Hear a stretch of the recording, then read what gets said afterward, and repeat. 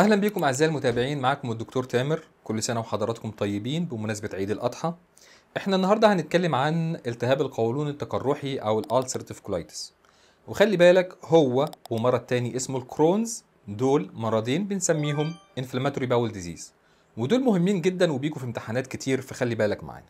وممكن نعمل الحلقة الجاية إن شاء الله عن ال Crohn's disease ده والاختلافات اللي بينه وبين ال ulcerative colitis وعلى فكرة التهاب القولون التقرحي ده غير القولون العصبي خالص ملناش دعوة بيه. الناس اللي عندها قولون عصبي دول ملهمش دعوة بينا دلوقتي. وما تنساش في البداية وانت لسه مصحصح معانا كده اعمل لي لايك للفيديو. التهاب القولون التقرحي ده مرض بيصيب القولون التهاب قولون. ومعنى كده إنه مش بيجي في مكان تاني غير القولون. بعكس ال Crohn's ديزيز اللي ممكن يجي في أي جزء من الجهاز الهضمي بداية من الفم لحد فتحة الشرج. أما ال ulcerative colitis خاص بالقولون فقط. كمان ما يميز التهاب القولون التقرحي إن الإصابة فيه متصلة ببعضها. يعني لو واحد عنده المستقيم فقط هو المصاب يبقى هو المستقيم حتة على بعضها. ممكن يبقى واحد تاني عنده المستقيم وال sigmoid colon والقولون النازل. فتلاقي الالتهاب متصل ببعضه. ممكن واحد تاني يبقى معاه كل ده والقولون المستعرض تلاقي الإصابة كلها متصلة ببعضها. واحد تاني يبقى معاه القولون كاملا وبنقول عليه pancolitis في الوقت ده. الفكرة إن الإصابة بتكون متصلة ببعضها مش زي ال Crohn's disease. ال Crohn's ممكن تلاقي أجزاء مصابة وأجزاء سليمة وأجزاء أخرى مصابة وهكذا. بيقولوا عليها skip lesions ده في ال Crohn's. أما في التهاب القولون التقرحي الإصابة متصلة. كمان ما يميز ال ulcerative colitis إن الإصابة بتكون في الطبقتين السطحيين فقط اللي هي ال mucosa وال submucosa برضو على عكس ال Crohn's اللي تقريبا ممكن يصيب كل الطبقات. وبالنسبة للأسباب اللي تخلي الشخص يجيله ulcerative colitis فكالعادة الأسباب مش واضحة بشكل دقيق. كلها نظريات وآراء بيقولوا إن الجينات لها دور إن العوامل البيئية لها دور بعض الأغذية زي الناس اللي بتاخد ألبان كتير ممكن يزود فرصة حدوث التهاب القولون التقرحي نقص بعض ال antioxidants فيتامين A وفيتامين E ممكن يكون ليهم دور. تناول المسكنات ممكن يكون له دور. وبيقولوا إن التدخين ممكن يكون حماية من التهاب القولون التقرحي يعني هم لقوا إن التهاب القولون التقرحي بيجي أكتر في غير المدخنين. بس طبعا مش معنى كده إنك تروح تدخن لأن التدخين بقى بيجي أكتر مع ال Crohn's disease اللي لسه هنتكلم عنه في الحلقة الجاية إن شاء الله. كمان طبعا بقى سرطان الرئة وغيره وغيره فمش عايزك تاخد الحتة الإيجابية دي بس وتقول أما دخن أو التدخين مفيد. المرض ده غالبا بيجي في الكبار وأكتر سنين بنلاقيهم فيه من 15 ل 25 سنة ومن 50 ل 65 سنة. يعني دول أكتر وقت بنشخص المرضى بال ulcerative colitis أما الأطفال أقل من 10 سنين فده نادر إن هو يجي لهم ulcerative colitis وبالنسبة للأعراض فغالبا العيان اللي عنده ulcerative colitis أكتر حاجة أو أشهر حاجة بيشتكي منها هو الإسهال الدموي. بيعمل إسهال في دم. دم أحمر مش أسود مش كلاكيع دم أحمر فريش بلاد كمان ممكن يبقى عنده إسهال عادي ممكن يبقى معاه مخاط ممكن يبقى عنده مغص في بطنه أو ألم في بطنه طبعا. الحالات الشديدة ممكن يخرج صديد من فتحة الشرج بعض المرضى ما يقدرش يتحكم في البراز. في بعض المرضى بدل ما يجي لهم إسهال يجي لهم إمساك. هي دي الصورة الشائعة كده لالتهاب القولون التقرحي.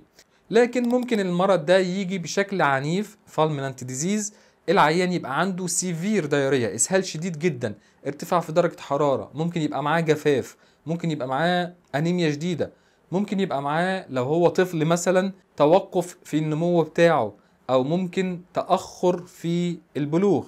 لكن الصورة الشائعة أو الاكثر هي الأولى اللي إحنا قلنا عليها. كمان التهاب القولون التقرحي ده بيبقى ليه شوية أعراض خارج القولون بعيدة عن القولون. زي مثلا إنه ممكن يجي في المفاصل والعضلات يعمل حاجة اسمها arthropathy يعني آلام والتهابات ومشاكل في المفاصل. كمان ممكن يعمل ankylosing spondylitis برضو التهابات كده في المفاصل سواء المفاصل الطرفية بتاعت إيدينا ورجلينا كده أو المفاصل بتاعة العمود الفقري. كمان ممكن يأثر على الجلد يعمل erythema nodosum يعمل pyoderma gangrenosum يعمل skin abscess أو خراريج في الجلد. ممكن يأثر على العين ويعمل scleritis و episcleritis uveitis والعين تحمر وكده. كمان ممكن يأثر على الكبد ويعمل حاجة اسمها primary sclerosing cholangitis يعني مشاكل في القنوات المرارية بتاعة الكبد ويحصل إصفرار في الجسم وممكن تبقى حالة خطيرة ويحصل فشل في الكبد. ونقدر نعتبرها أحد مضاعفات ال ulcerative colitis كمان من مضاعفاته إن ممكن يعمل حاجة اسمها toxic megacolon اللي هو التهاب واتساع في القولون ودي برضو حالة خطيرة وغالبا بتحتاج تدخل جراحي. كمان من مضاعفاته إنه بيزود فرص حدوث سرطان القولون. طبعا مش كل الحالات لازم يجي لها لكن بيزود فرصة الحدوث. فلازم المتابعة الدورية ولازم نعمل منظار على القولون كل سنة أو سنتين زي الدكتور ما يقول لنا. لو جيت تفحص المريض اللي عنده ulcerative colitis فلو كانت الحالة بسيطة غالبا مش هتلاقي حاجة خالص. ممكن تلاقي شوية tenderness بس على ال lower abdomen أما تيجي تضغط على بطنه توجعه. لو الحالة شديدة شوية ممكن تلاقي الألم ده شديد. لو الحالة شديدة قوي ممكن تلاقي معاه أعراض تانية زي الأنيميا بقى وسرعة ضربات قلب وارتفاع درجة حرارة الحاجات اللي هي الشديدة اللي إحنا قلنا عليها. لما تيجي تعمل له PR examination أو فحص شرجي ممكن تلاقي مخاط أو ممكن تلاقي براز فيه دم.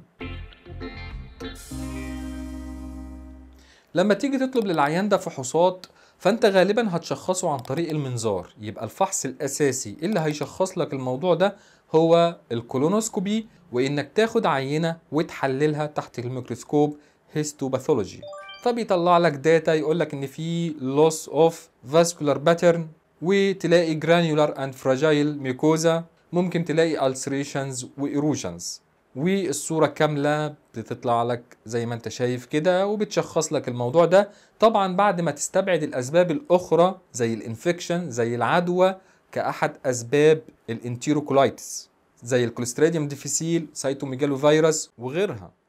لو العيان حالته يعني شديدة قوي ومش قادرين نعمل له colonoscopy فممكن نعمل له مسح ذري اللي هو radionuclide studies وزمان كانوا بيستخدموا ال barium enema في التشخيص. لكن هو الأكتر واللي شغال دلوقتي هو ال colonoscopy أو المنظار.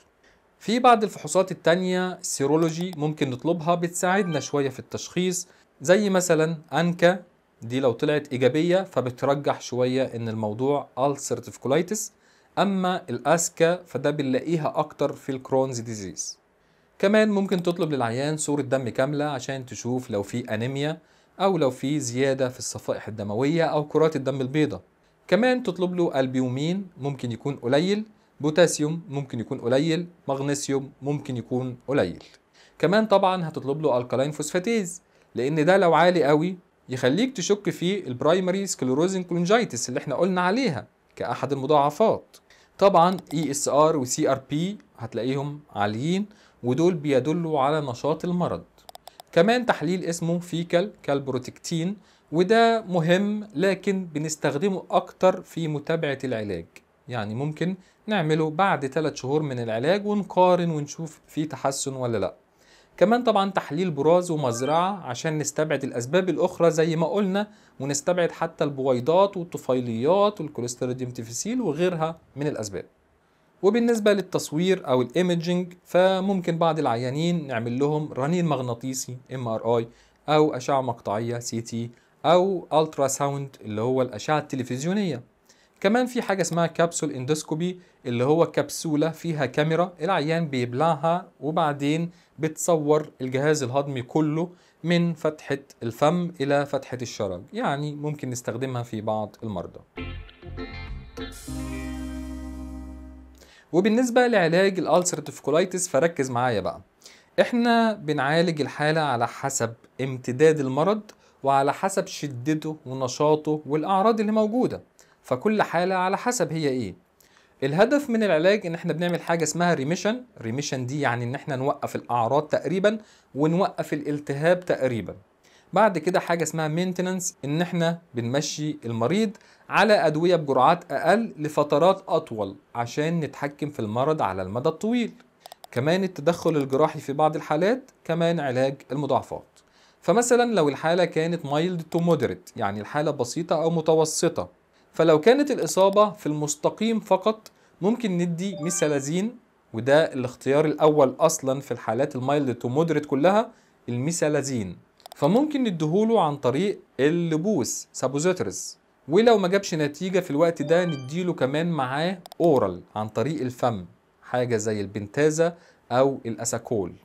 أما لو من الأساس الإصابة مش في المستقيم بس لا ده ممتدة لأجزاء أكتر من القولون زي ما قلنا.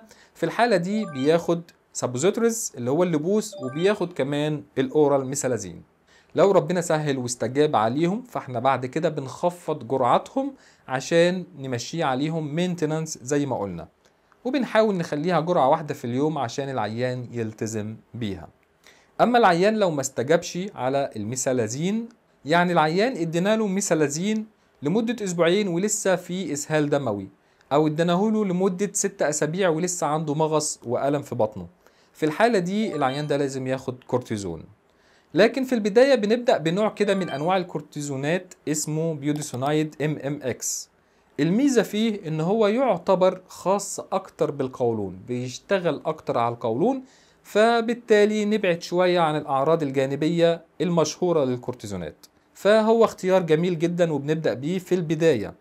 فلو العيان استجاب عليه فدي حاجة برضو كويسة. لو ما استجابش يبقى ننقل للكورتيزونات الأخرى حاجة زي البريدنيزولون أو ما يعادله. بريدنيزولون بجرعة 75 من 100 لواحد ملي جرام لكل كيلو من وزن العيان في اليوم أو ما يعادله من الكورتيزونات الأخرى. لو العيان اتحسن على هذه الكورتيزونات فدي برضو حاجة كويسة. وبنبدأ بعد أسبوعين إن إحنا نقلل الجرعات ونبدأ نمشيه على maintenance بال mesalazine لو عرفنا نعمل كده يبقى كده تمام. ما عرفناش لقينا العيان كل ما بنسحب الكورتيزون الأعراض تزيد مرة تانية والإسهال الدموي يزيد مرة تانية. نديله كورتيزون يبقى كويس. الحالة دي بنقول عليها steroid dependent يعني المرض معتمد على الكورتيزون. طيب إحنا ادينا له كورتيزونات والعيان أصلا لم يستجيب. يعني أنت اديته أربع أسابيع عن طريق الفم أو اديته أسبوع وريدي والعيان لم يستجيب. في الحالة دي بنقول عليها steroid refractory يعني مقاوم للكورتيزون. والحالتين دول سواء كان مقاوم للكورتيزون أو معتمد على الكورتيزون الحالتين دول بنحاول نمشيه على حاجة يا إما azathioprine أو vedolizumab كل اللي فات ده كان mild to moderate إحنا قلنا بسيط إلى متوسط.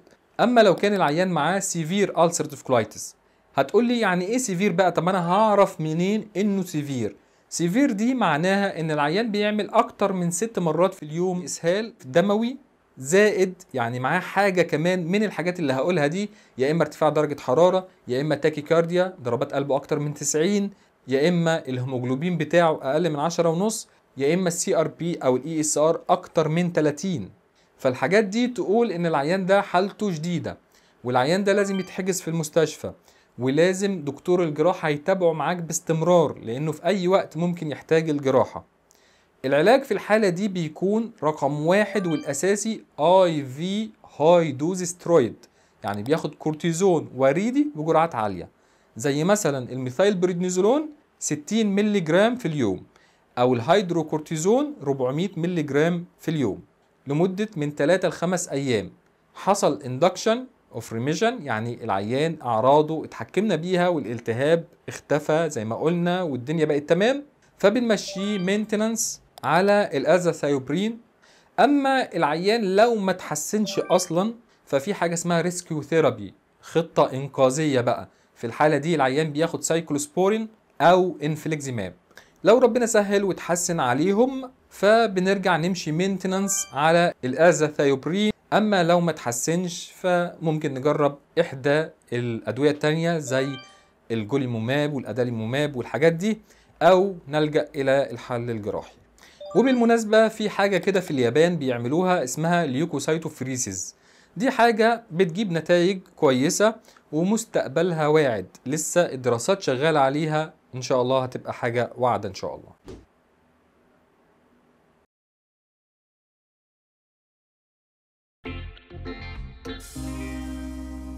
يبقى هنا نقدر نقول إيه هي دواعي التدخل الجراحي؟ أكيد طبعا لو العلاج الطبي بالأدوية مش جايب نتيجة. في نزيف مش قادرين نتحكم بيه. لو العيان معاه toxic megacolon زي ما قلنا ومش مستجيب للأدوية أو العيان معاه مشاكل تانية زي مثلا perforation العيان حصل فيه ثقب في القولون أو بيقولوا عليه بالبلدي كده انفجار في القولون برضو التدخل الجراحي مهم. كمان في حاجة اسمها elective surgery إن إحنا نخطط للعيان إنه يعمل جراحة لكن مش بشكل طارئ. زي مثلا عيان معاه long term steroid dependent. يعني العيان معتمد على الكورتيزون هو ده الوحيد اللي جايب معاه نتيجة لفترات طويلة ممكن نفكر معاه في الجراحة. وجود المرض من 7 ل 10 سنين برضو ده داعي إن إحنا نفكر في الجراحة. أو لو ظهر dysplasia أو adenocarcinoma يعني لو ظهر سرطان أو ما قبل السرطان في المنظار والعينات اللي إحنا بناخدها بشكل دوري. فالحاجات دي هي دواعي الجراحة. وفي النهاية أحب أشكركم. ما تنساش بقى اشترك في القناة واعمل like و share. شكرا لحضراتكم.